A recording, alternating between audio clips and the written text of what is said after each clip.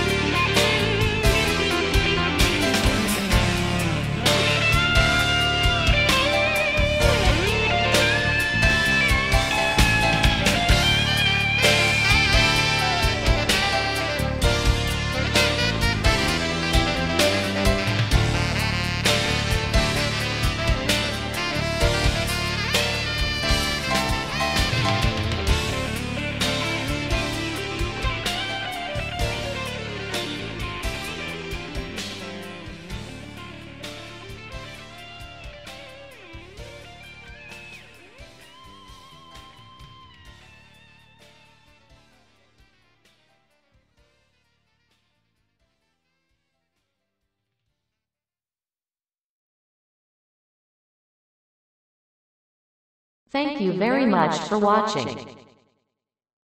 Please come and visit us anytime. Carl Uncle is waiting for you. Please subscribe to the channel.